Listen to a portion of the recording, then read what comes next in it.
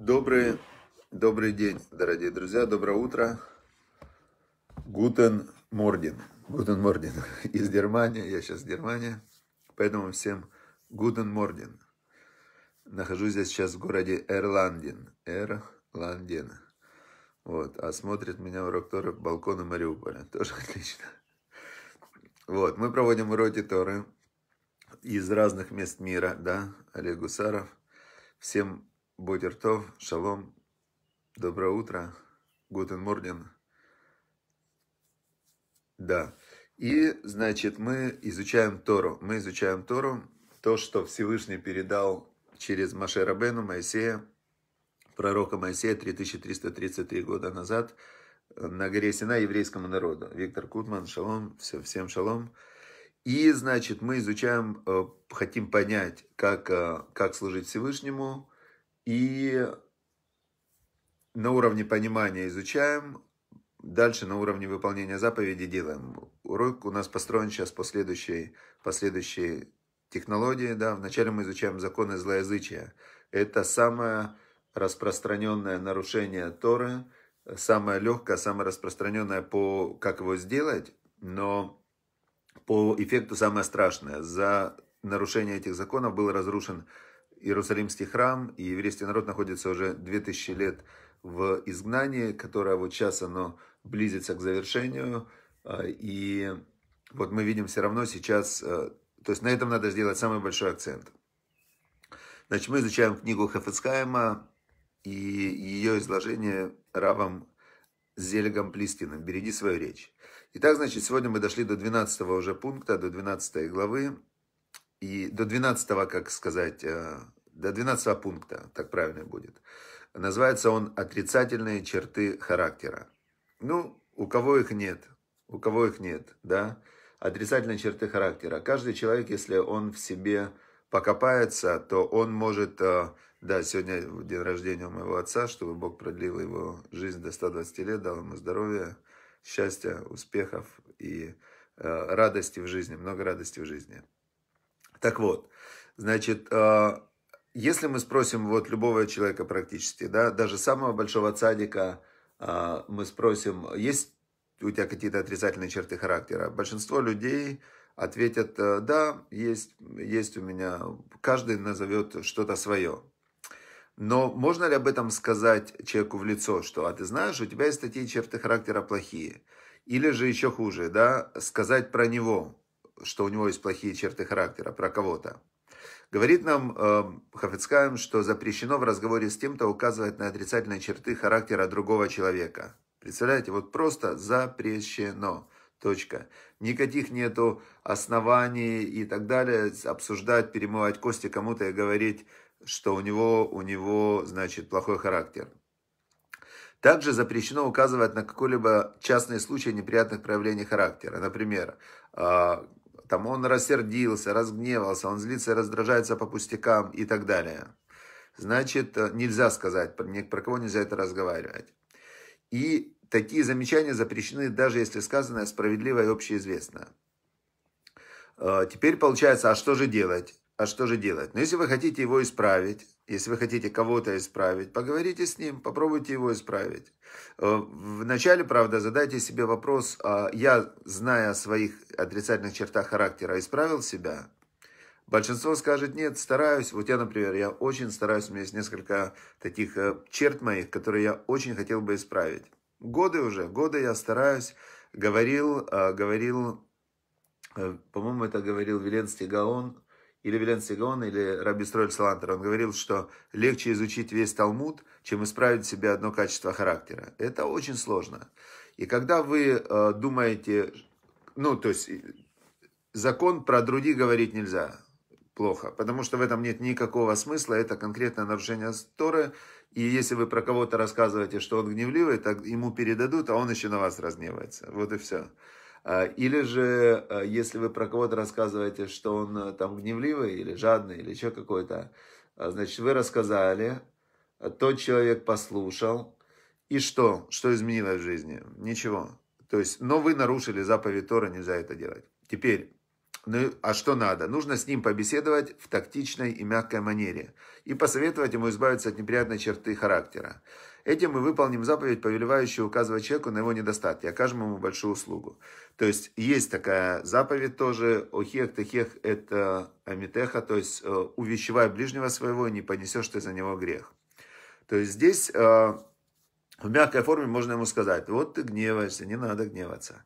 Но по факту он сам знает, что он гневается. Он разве не знает, что он гневается? Если ты ему даже скажешь, что он гневается, то он может, э, ну, ему будет неприятно, как минимум. Но, опять же, мы стараемся действовать, понять, как нам говорит Тора, действуя, да, и по Торе нужно сказать ему мягко, лично ему, что тебе бы стоило бы исправить эту, эту черту характера.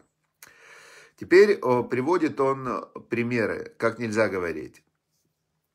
Как нельзя говорить ну вот он приводит такой как диалог небольшой. Ашер, прекрасный человек, занимается благотворительностью, но он настолько кажется себе совершенным, что впадает в грех самодовольствия и иногда просто невыносим. Это очень раздражает Якова. Якова, осторожней, не рассказывай другим о самодовольстве Ашера и его тщеславии. Не нравится тебе? Ну, так и живи с этим. Ну, бывает. Зачем ты другим рассказываешь? То есть, пользы же от этого нет.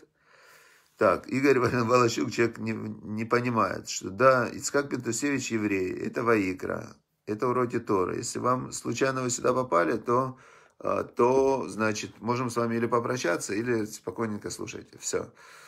Значит, а, или, например, господин Бернштейн вот еще один пример диалога. Господин Берштейн скуповат. Он получает огромную прибыль от выгодного бизнеса, но если судить по размерам его пожертвований на жизнь еврейской общины, можно подумать, что он бедняк. Об этом недостатке запрещено говорить, даже если этот факт общеизвестен.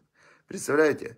Вот нельзя прийти, э, прийти нельзя в например, человек приходит в синагогу, да, о чем разговаривать? Нельзя обсуждать других людей. Вот просто нельзя обсуждать других людей, даже если вам что-то в них не нравится. Нельзя это обсуждать. Все понятно, да? Теперь а, это мы а, выучили очень важный закон, очень важный закон, что нельзя указывать, обсуждать недостатки других людей. Это сплетни. Игорь Волочук, как сейчас его отключить? Он такие, человек видно, что он не... Ладно. Хорошо. Значит, дальше. Дальше есть краткая книга заповедей. Есть краткая книга заповедей, которую мы изучаем. Краткая книга заповедей, которую мы изучаем. И ее написал тоже Хафицхайм, краткую книгу заповедей.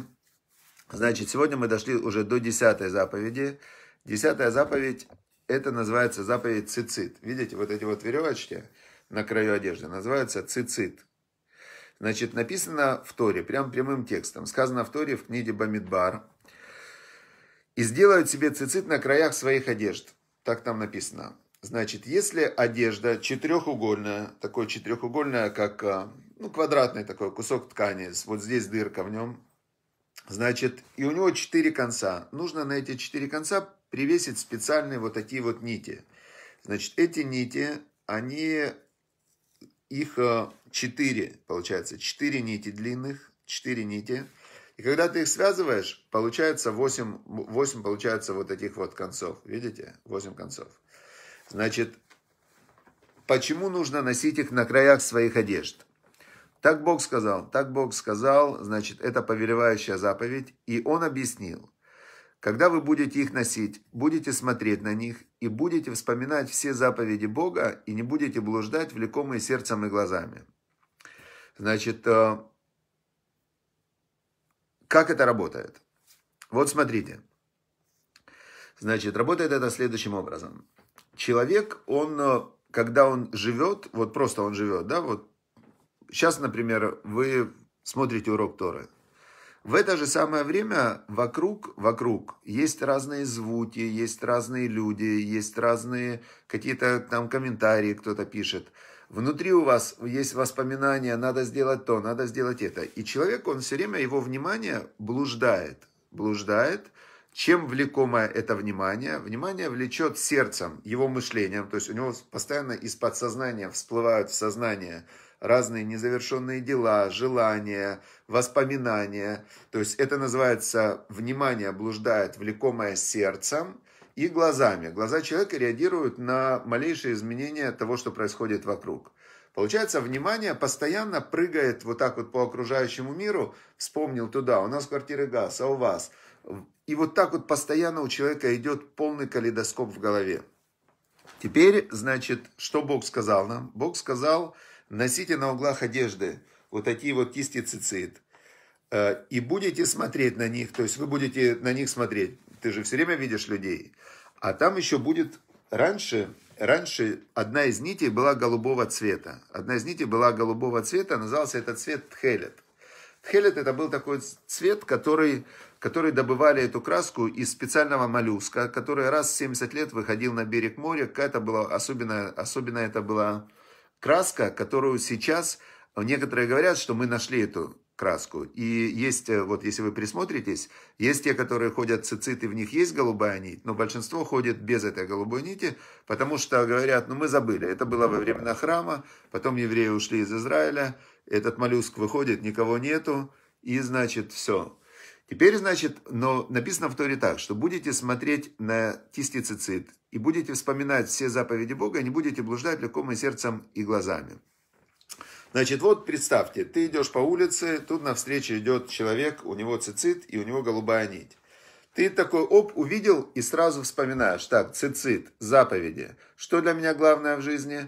Царь Соломон сказал в конце Экклезиаста. Экклезиаст это исследование полностью, Коэлет книга называется, исследование всего, что есть в этом мире, как на уровне мировоззрения.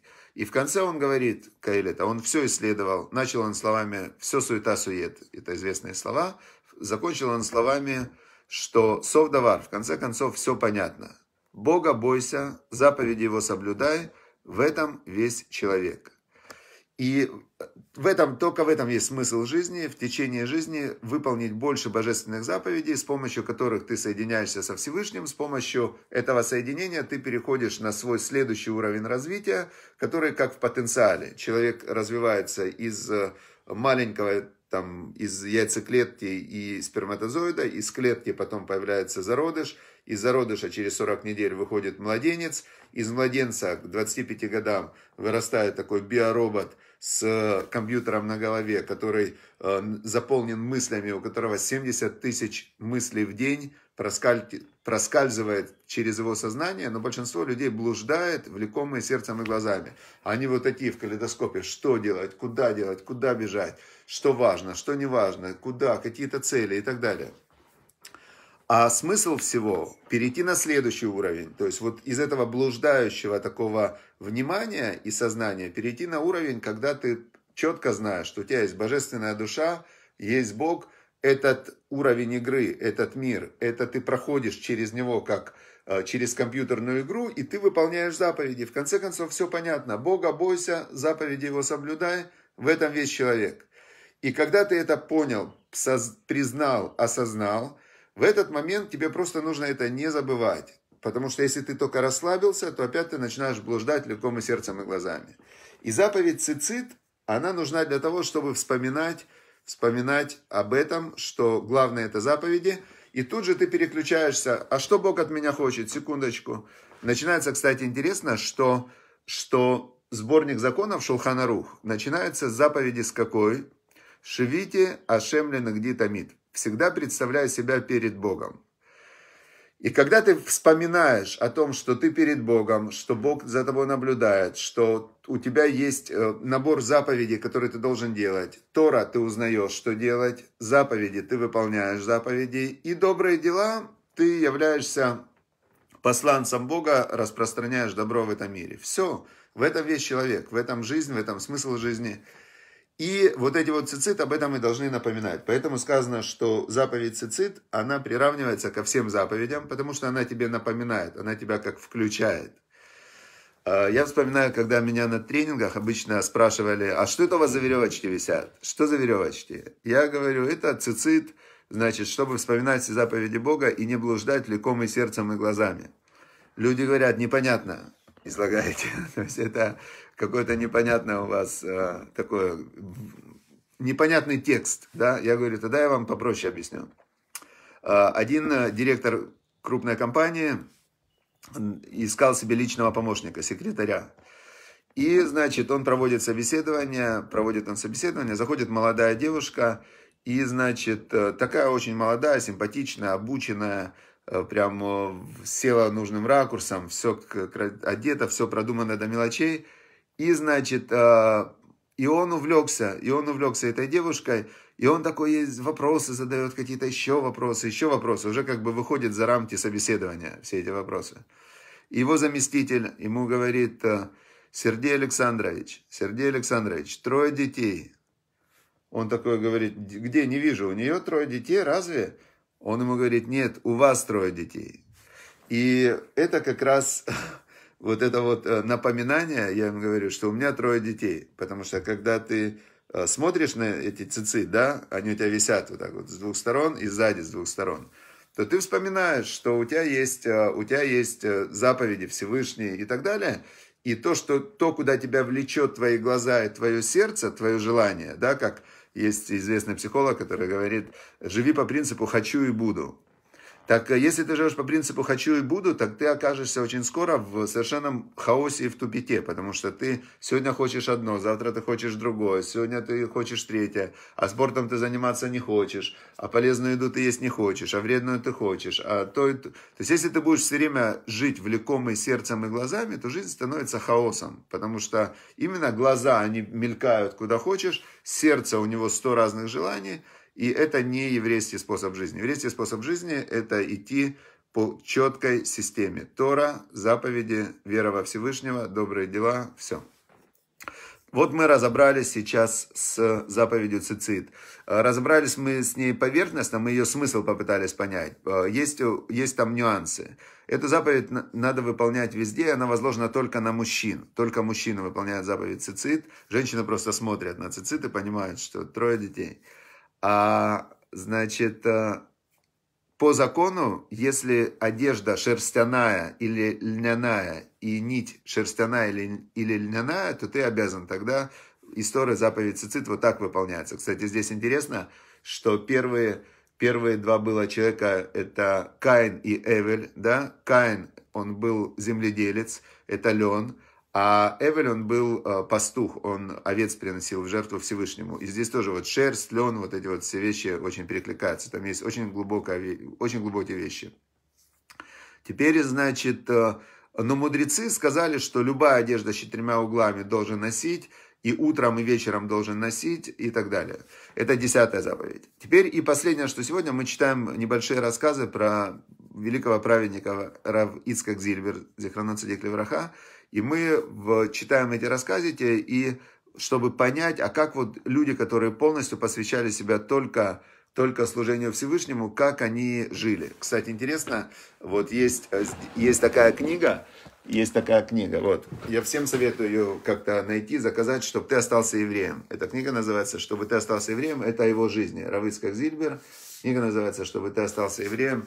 О его жизни. Потрясающая книга, невероятная. Значит, вот рассказ рассказывает его дочка Хава Куперман. Он жил до 71 года в Ташкенте и уехал уже в Израиль из Ташкента. Сам он 17 -го года рождения. Э, значит, рассказывает Хава Куперман. Рассказ называется «Бесстрашие». Он ничего не боялся в жизни. Ему было важно, чтобы мы знали, это его дети, у него было четверо детей, что он ничего не боится.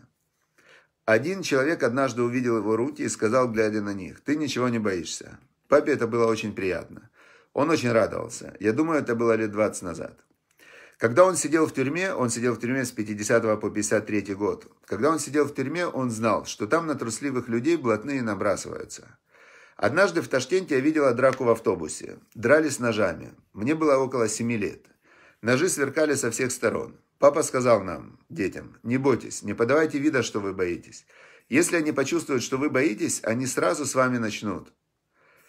Он ничего не боялся. Слово «боюсь» никогда не звучало в нашей семье. Ему могло быть что-то неприятно делать, но он считал, что человек не должен ничего бояться, кроме Бога. Он учил нас быть бесстрашными.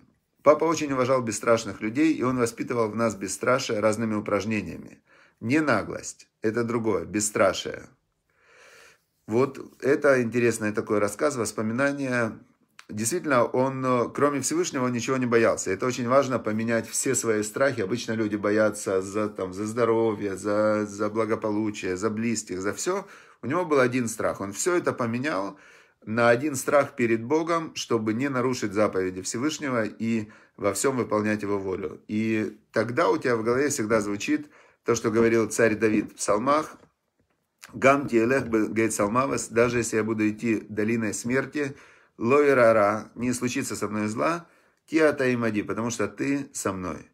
И очень важно с помощью изучения Торы и выполнения заповедей э, почувствовать вот эту вот связь с Богом и почувствовать, что ты всегда в домике. То есть, если ты со Всевышним, то, конечно, у тебя в жизни все будет хорошо. Все, желаю всем хорошего, прекрасного дня, полного выполнения заповедей, изучения Торы и помощи ближним. Это три основы, на которых стоит мир. Изучение Торы, знать, что Бог хочет. Второе, выполнение заповедей, выполнять то, что Бог сказал выполнять. И третье, это добрые дела, значит, э, быть посланцем Всевышнего и делать добро людям. Все, счастливо, всем удачи, успехов, хорошего дня. Спасибо за поздравления. Значит, можно на моей странице в Фейсбуке отца, э, отца поздравить моего с днем рождения. Ему будет очень приятно, 89 лет. У него Фейсбука нет, к сожалению, к счастью, может, и так далее. Но хорошо, всем удачи, успехов, счастливо, пока.